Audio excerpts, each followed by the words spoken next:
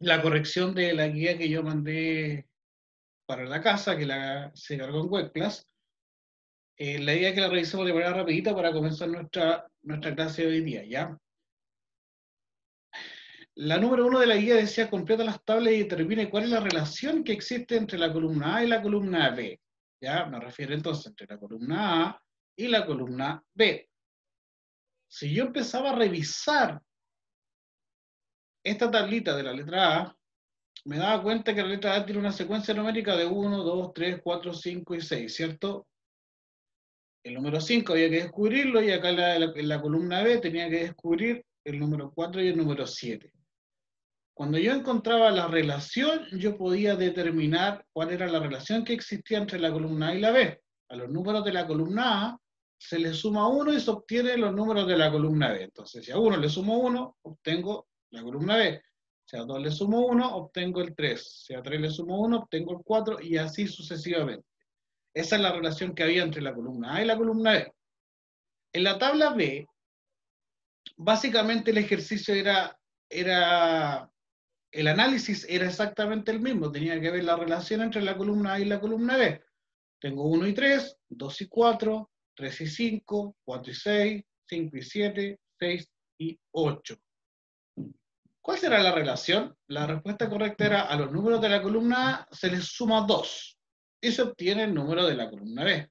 Si a 1 le sumo 2, me queda 3. Si a 2 le sumo 2, me da 4. Si a 3 le sumo 2, me da 5. Y así sucesivamente. La tablita C, yo tendría que realizar exactamente el mismo análisis. ¿Cuál es la relación entre la columna A y la columna B? Tengo 1, 5, 2, 6, 3, 7, 4, 8, 5, 9, 6, 10. ¿Cuál será la relación? A los números de la columna se les suma 4, bien Diego, y se obtiene eh, los números de la columna B. Si a 1 le sumo 4 me da 5, si a 2 le sumo 4 me da 6. Si a 3 le sumo 4, me da 7 y así sucesivamente. Recuerden que estamos viendo relaciones ya entre la columna A y la columna B. Después apareció un ejercicio que hablaba sobre las bacterias, ¿cierto? Explicaba sobre las bacterias y daba una cierta cantidad de minutos, eh, donde se iban creando, etc. La idea era completar esta tablita en relación a los ejercicios revisados anteriormente, ¿cierto? Aquí faltaba el 8 y faltaba el 64.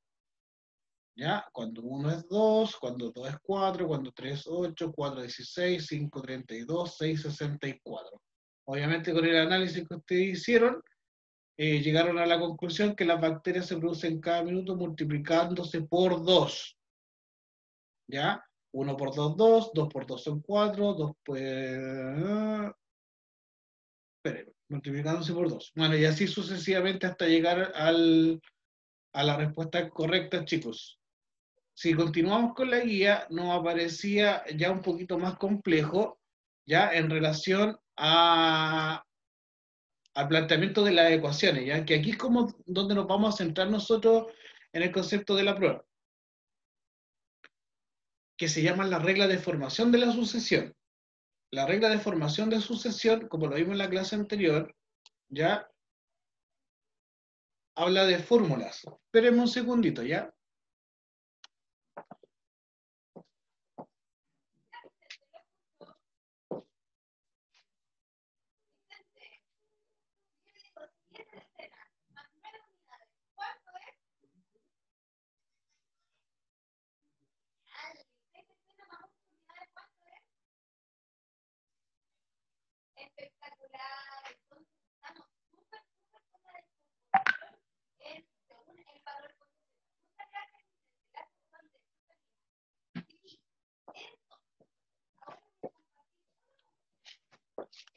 Ya chicos, perdón. Hablábamos entonces de la regla de, eh, de la regla de formación, ¿cierto? De, de las sucesiones, cuando yo planteo una ecuación. Los resultados obtenidos en esta ocasión, cuando la regla de, de formación era 2n más 1, recuerden que la n es el dígito que yo voy a reemplazar, que en este caso era 1, 2, 3, 4, 5 y 6. Si a esta ecuación yo le pongo el 1, sería 2 por 1 más 1.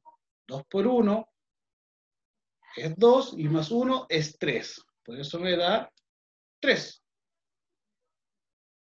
En el lugar 2, reemplazo la n por el 2. 2 por 2 es 4 más 1, 5. Por eso me da 5.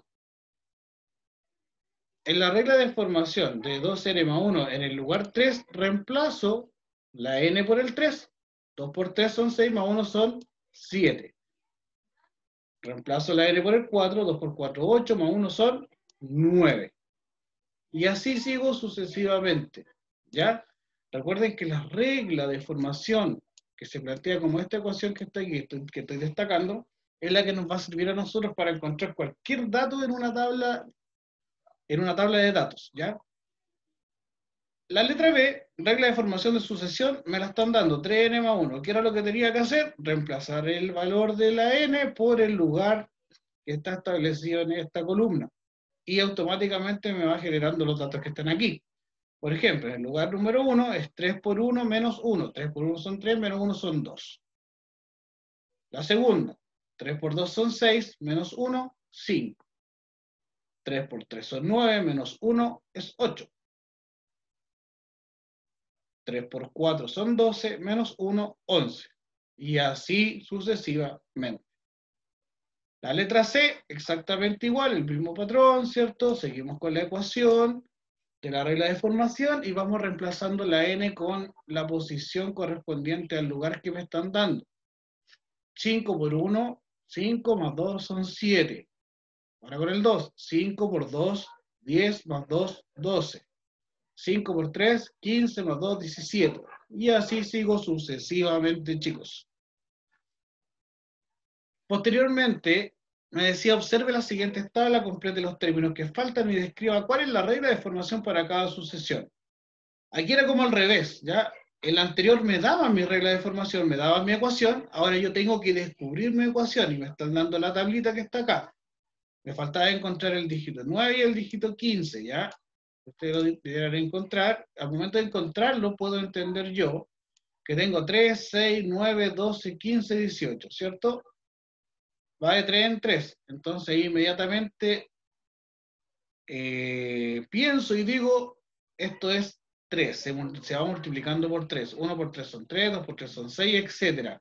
Entonces, mi regla de formación general es 3n. Si cambio el n por la posición de cada uno de estos dígitos, me va a dar como resultado la otra columna que está a su, lado.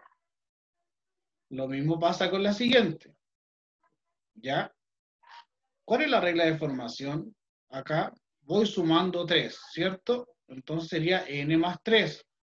1 más 3, 4. 2 más 3, 5. Y así sucesivamente. Y esa era la guía, chicos. Esa es la guía que tenían que revisar. ¿Ya? Es la guía que, si no la hicieron hasta el momento, la tienen que hacer ahora. ¿Ya? Y hoy día vamos a comenzar a trabajar, eh, chicos, con ejercicios relacionados a secuencias y a patrones numéricos.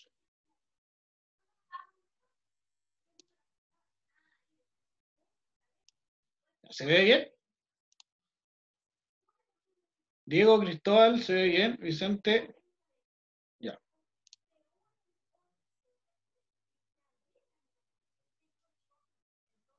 Ya chicos, secuencia y patrón numérico en tablas, quinto año base. Partimos. Eh, los queridos aprendizaje, describir alguna regla que explique una sucesión dada y que permita hacer predicciones. Llevamos alrededor de dos o tres clases con este mismo objetivo, el cual lo traspasamos a objetivo de la clase de hoy día, es aplicar reglas que, eh, para encontrar patrones numéricos en sucesiones de números en tabla de datos a partir de problemas rutinarios. Ya lo vamos a hacer algunos problemitas. Yo inventé algunos problemitas por ahí, si alcanzamos con el tiempo, que nosotros podemos inventar algún problema al final. ¿Ya?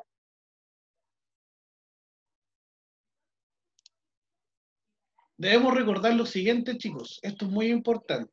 Antes de comenzar de lleno, debemos recordar que nos vamos a encontrar con cuatro pasos, cuatro grandes pasos para yo poder encontrar este, esta regla de formación o este patrón, ¿ya? Que a su vez es una, es una mini ecuación, ¿ya? el paso número uno es encontremos la relación de la sucesión para los datos presentados. Tenemos que encontrar una relación en los datos que me presente la tabla o la situación problemática para poder eh, llegar al paso número dos, que es, que donde vamos a plantear esta ecuación base a la relación que nosotros encontramos en, el paso número uno. Cuando ya tengo el uno y el dos listo, me voy al tres, es donde vamos a analizar nuestra, nuestra ecuación nos vamos a preguntar si es que eh, nuestra ecuación formada o creada cumple con los requisitos para encontrar los datos de la otra columna. ¿ya? Si no es así, la voy a tener que ir haciendo modificaciones para que logre cumplir los requisitos que necesito, ya que es encontrar mi regla de sucesión. Y el último es, vamos a finalizar nuestra ecuación y la utilizaremos para encontrar los datos faltantes. Cuando ya está lista mi ecuación y entiendo que me va generando todos los datos de la otra columna, la voy a crear y la voy a utilizar. Ya la voy a utilizar para encontrar todos los datos que me está pidiendo el problema.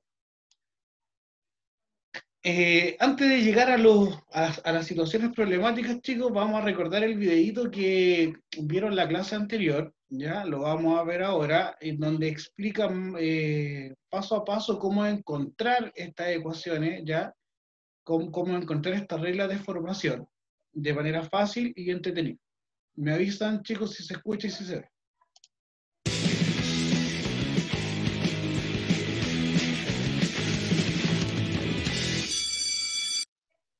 Onda? Espero que estén muy bien. Mi nombre es Daniel Carreón y hoy vamos a ver uno de mis temas favoritos, las sucesiones. Empecemos con la definición.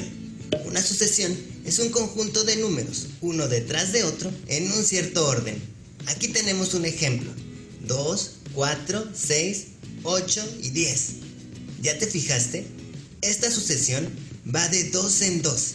Al número que aparece primero se le dice primer término de la sucesión. Al que aparece después se le llama segundo término el que aparece después se le llama tercer término y así sucesivamente. Los tres puntos al final significan que la sucesión continúa y nunca termina, o sea, que es infinita. Vamos a ver otro ejemplo de una sucesión. 7, 11, 15, 19 y 23. Seguramente ya te diste cuenta que esta sucesión va de 4 en 4.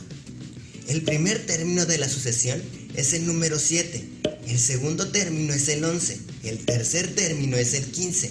El cuarto término es el número 19. Y el quinto término es el número 23. Si quieres saber cuál sería el sexto término de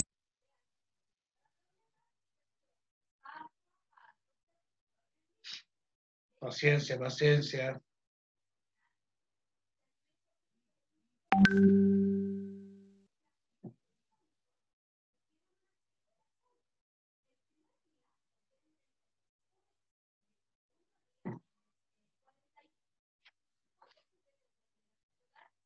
un segundito que llegue el, famoso internet. Esta sucesión tendrías que sumarle 4 al número 20.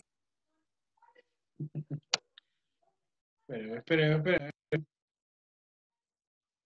Volvemos, volvemos, volvemos.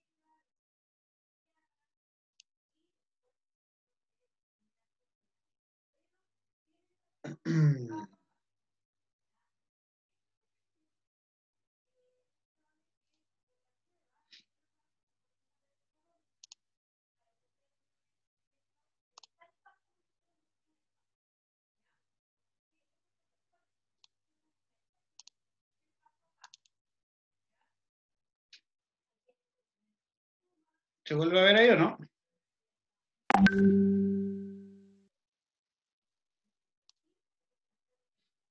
Diego no se ve. Sí, ya.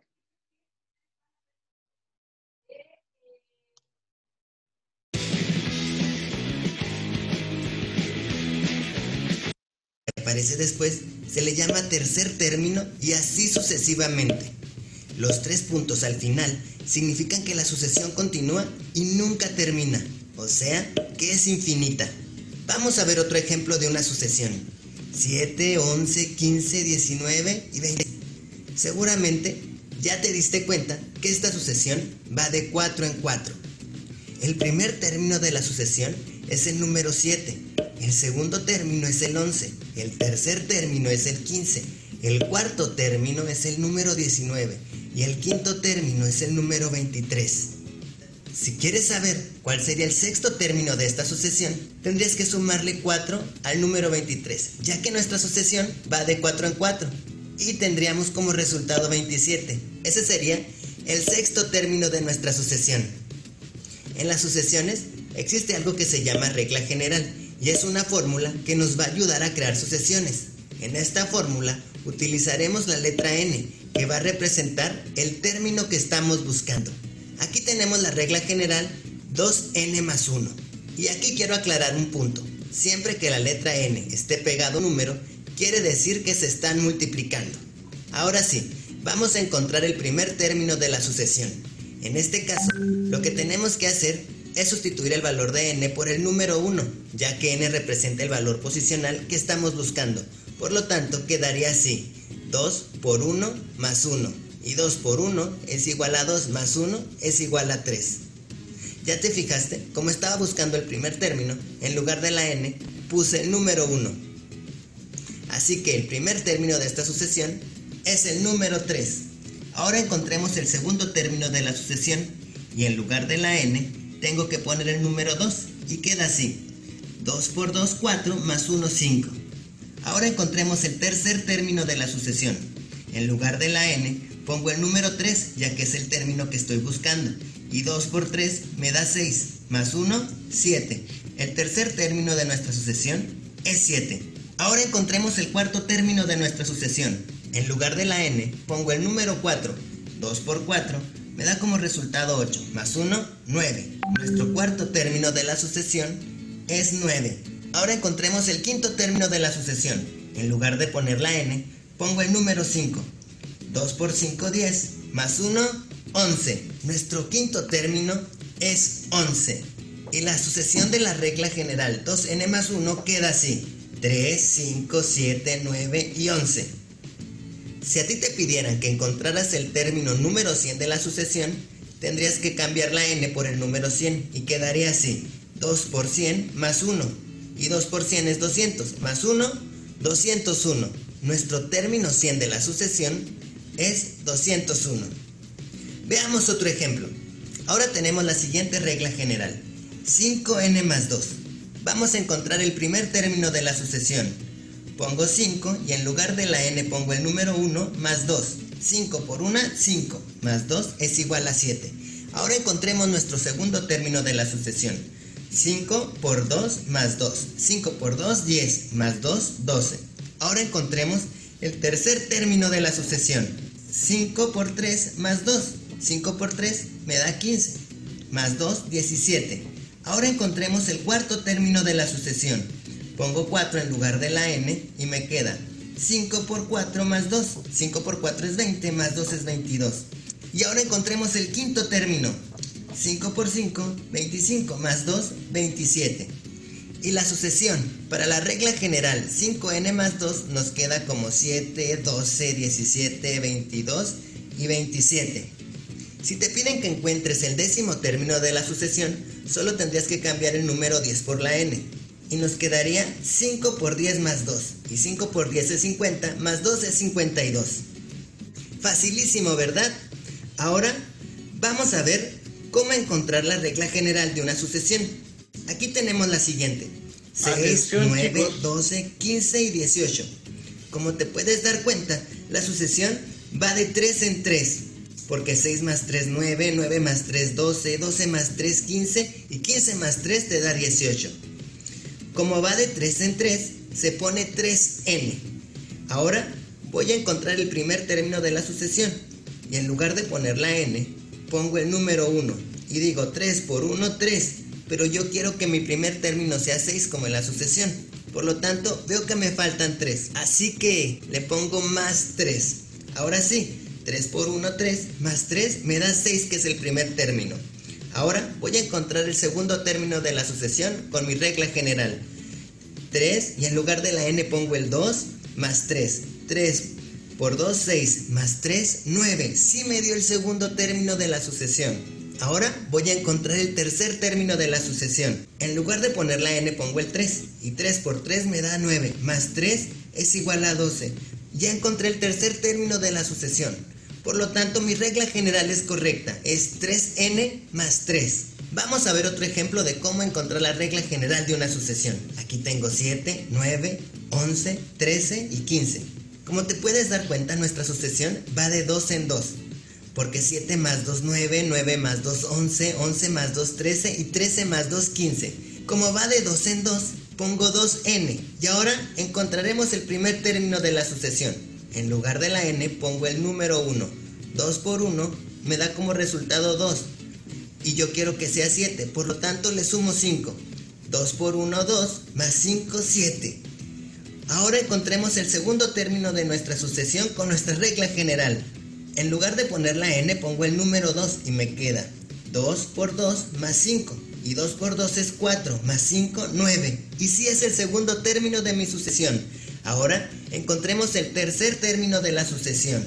En lugar de poner la n, pongo el número 3 y tengo que 2 por 3 me da 6, más 5, 11. Por lo tanto, si es correcta mi regla general de 2n más 5. Recuerda que 2n salió porque mi sucesión va de 2 en 2 y el 5 lo tuvimos que agregar para que nos coincidiera con el primer término de la sucesión. Ahora... Ya chicos, viendo ya este videito nos vamos a ir a lo siguiente, vamos a practicar ya. Primero voy a explicar yo.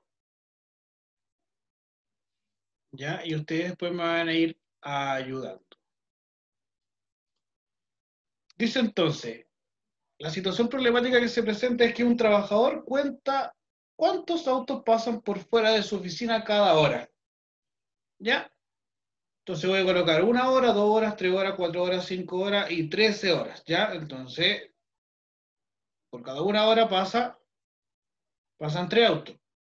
Dos horas pasan seis autos, tres horas, nueve autos, cuatro horas, doce autos. ¿Cierto? Según el video que vimos recién, el patrón de sucesión, por así decirlo, es 3, 6, 9, 12, ¿cierto? Va de 3 en 3. Número 1. La relación de los datos de la columna B es que se le suma 3 a cada término, ¿cierto? Si le sumo 3 al 3 me da 6, si le sumo 3 al 6 me da 9, si le sumo 3 al 9 me da 12. ¿Correcto? Entonces mi regla va a ser, la ecuación de base va a ser entonces 3n, porque mi sucesión va de 3 en 3. ¿Cierto? Entonces colocamos 3n. 3. analizamos la ecuación de base que es 3n y reemplazamos los datos y verificamos que nos den los resultados que queremos. ¿Ya? Reemplazamos. Recuerden que la n la tengo que reemplazar por la posición, por el término. Término 1, término 2, término 3, término 4. Vamos a reemplazar el 3 y recuerden siempre, como explicaron en el video, que cuando hay una letra con un número que están juntitos, se van a multiplicar. Veamos a la hora 1. 3 por 1 me da 3. Correcto, cumple con la condición. Veamos a la hora 2. 3 por 2 me da 6. También cumple con la condición. Veamos con la tercera. 3 por 3 me da 9. Correcto. Como ya me dio eh, todos los dígitos que tengo acá, entonces considero que mi regla, o sea, mi, mi ecuación establecida está correcta. Por lo cual vamos a encontrar los datos que faltan. Ahora vamos a utilizar nuestra ecuación y vamos a encontrar los datos que faltan. Vamos a poner 4. 3 por 4 son 12, correcto. 3 por 5 ¿Qué número irá ahí? Si me ayudan ustedes. Si me ayudan, si me ayudan, voy a ver el chat. Eh, bien, ¿quién es ese? ¿Quién es ese? Tantos 15 me pone por ahí. Veamos. 15, correcto. ¿Y la siguiente? Aquí es más difícil, aquí es más difícil. A ver, ¿cuánto me pusieron? 18, uno me puso 36. ¿Quién me puso 36? Cristóbal me puso 36. Ojo, ojo, que no es 6, es 13, es 13. Diego Moraga, 39, Cristóbal Pérez, 36. ¿Qué deberíamos hacer aquí? En estricto rigor, chicos, lo que tenemos que hacer nosotros es tomar este numerito 13 y reemplazarlo por la n, que sería 3 por 13. Y 3 por 13 es como decía nuestro amigo ahí, Diego, que es 39. 39. Bien, bien chicos, ya vayan viendo bien cómo es el procedimiento de aplicación de nuestra ecuación para encontrar, ¿ya? Vamos con otro.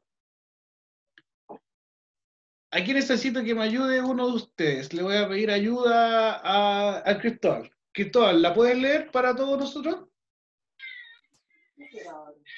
Un doctor decidió anotar cuántas personas llevaban cada semana con síntomas de gripes a su consulta y lo fue sumando cada semana anotándolos en una tabla.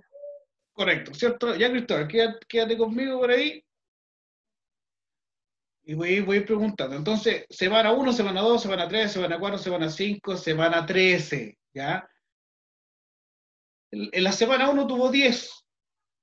Después lo fue sumando, ojo, dijo, lo fue sumando. Semana 2, 20, semana 3 ya tenía 30 pacientes, semana 4 tenía 40. ¿Qué le pasó entonces? ¿Cuál es el patrón de sucesión que yo puedo tener aquí? Tengo 10, 20, 30, 40. ¿Qué me puede responder? Eh, Diego. Eh, ponemos 10n y hicimos 10 por 1 es 10. Diego, antes de dar la respuesta, yo necesito analizar, ¿cierto? La columna que tú tienes ahí, tú, tú, tú ya la tienes clara, pero para que todos podamos entender, ¿cuál fue el, ¿Cuál es la relación que tiene esto? Es que va de... En 10 en 10. Va de 10 en 10, ¿cierto? Que si le sumo 10 al anterior me va a dar el otro y así sucesivamente. Entonces, como tú sacaste esa relación de esa columna de la tabla, tú llegaste a la conclusión, ¿cierto? Que eh, la regla de sucesión va a ser, o la ecuación base va a ser 10n. 10n, ¿cierto? Ya Diego, quédate conmigo. Si ya tenemos 10n, ¿qué es lo que tenemos que hacer ahora? Em, multiplicar. Ojo, pero ¿para qué? Para verificar si mi regla de base o mi, mi, ecuación de base está correcta o le falta algo, porque hay veces que le falta algo, ¿ya?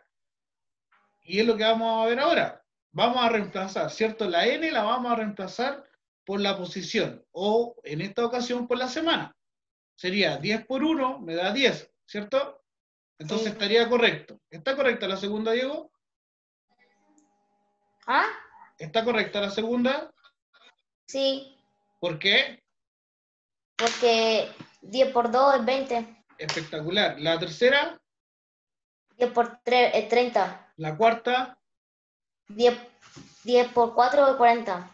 Espectacular. Entonces llegamos a la conclusión, Diego, que nuestra eh, ecuación de base, ¿cierto? Nuestra regla de base está correcta, es 10n, ¿cierto? Con esa fórmula, con esa ecuación de base, me va a permitir a mí encontrar cualquier, cualquier dato que yo quiera. Sigamos. Entonces ahora vamos a utilizar para encontrar la que viene. Y que necesito que me ayude aquí. No, tío, no, yo no más. ¿Tú no vas? yo más.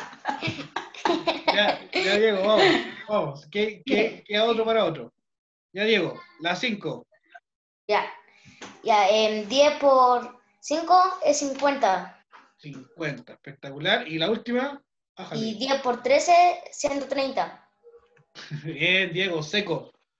Chicos, para que todos vean atención, tal cual como lo hizo Diego, como analizó Diego, como pensó y como como llegó a la conclusión de todo este ejercicio, es como yo tengo que hacer cada uno de los ejercicios, ¿ya? Vamos con el segundo, y el segundo quiero que me ayude una, niña, no veo ninguna niña, ¿dónde están? ¿Qué me puede ayudar? Chiquillas. Dice Claudia González. ¡Ah! Esa carita. Yo te ayudo, yo te ayudo, yo te ayudo. ya, no te pongas nerviosa, si yo te voy a ayudar. ¿Puedo o no? ¿Sí o no? Dedito para arriba, dedito para abajo.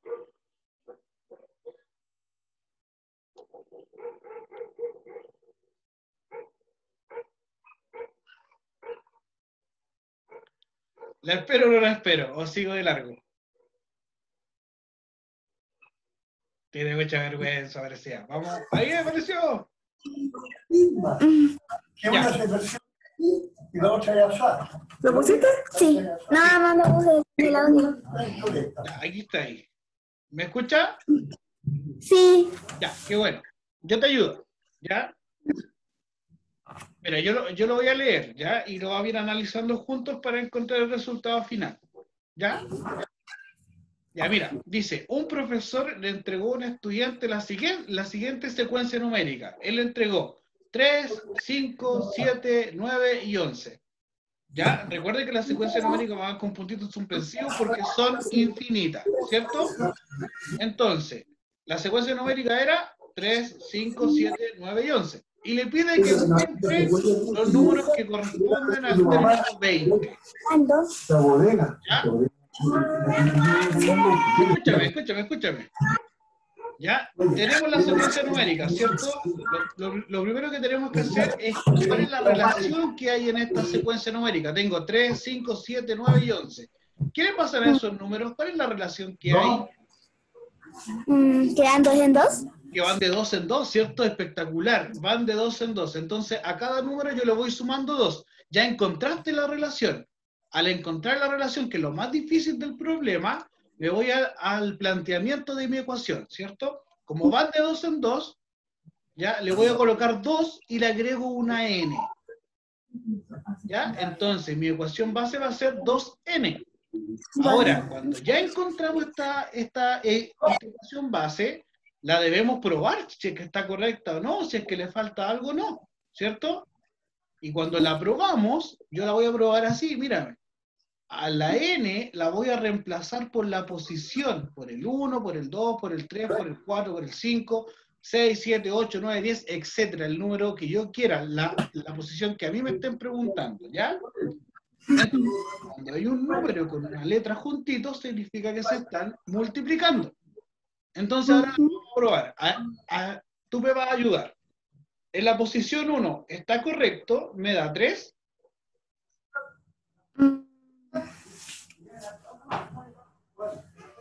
Si reemplazo la n por el 1, me va a dar 2 por 1, ¿cierto? ¿Y 2 por 1 cuánto me da? 2. 2. ¿Cierto? Y tenía que llegar al 3. ¿Estará buena esta ecuación o le falta algo? Le falta algo. Le falta algo, ¿cierto? ¿Qué le faltará? Un 1. ¿cierto? Le tengo que sumar un 1 para que pueda llegar al 3, ¿cierto? Sí.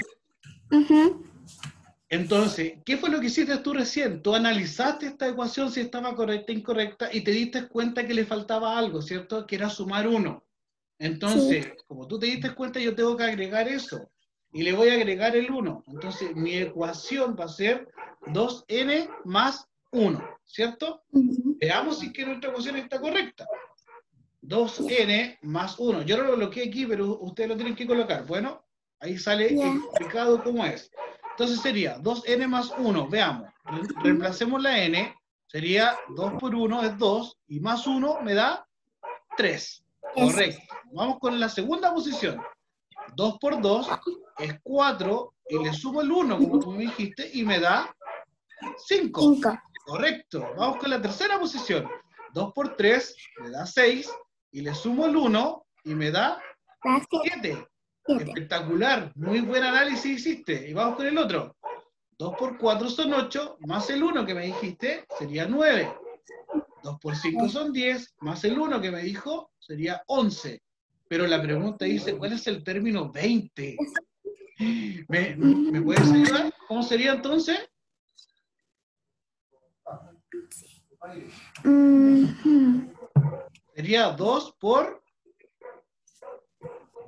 20. 2 por 20, ¿qué me da? 40. 40. Y le agrego el... 1. ¿Y me da? 41. Espectacular. Eso es, eso es. Te, das cuenta que no es difícil y, lo hiciste todo, todo, todo, todo. Muy bien. Felicitaciones. Gracias. Ya chicos, básicamente lo que veíamos hoy día era esto, ¿ya? Eh, tratar de encontrar el tema de los problemas. me quedan como dos programas, pero no vamos a alcanzar por el tema del horario. Les voy a mandar el Power eh, vía, vía WhatsApp, ¿ya? Por donde le ha llegado anteriormente.